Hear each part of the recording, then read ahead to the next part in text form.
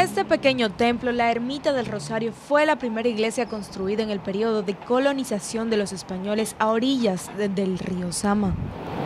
Lo que se ha descubierto es que a pocos metros de esta capilla se encuentra un pozo revestido de grama, que fue el primero construido para abastecer de agua a los conquistadores cuando llegaron a la Española, que además sirvió de cárcel para Colón antes de ser enviado a España en el año 1500. Aquí existe la idea incorrecta de que lo encarcelaron en la Torre del Homenaje.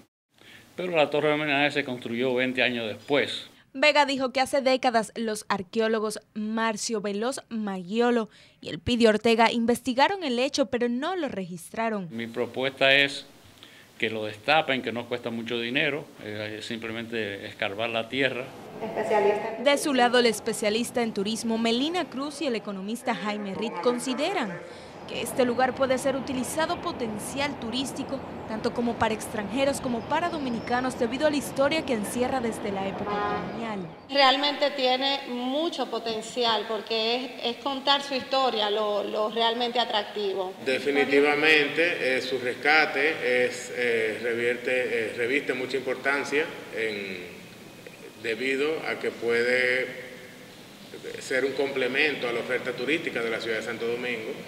A más de cinco siglos de que Cristóbal Colón falleciera, su figura sigue siendo eje de investigación y revuelo. Ana Paula González, Noticias SN.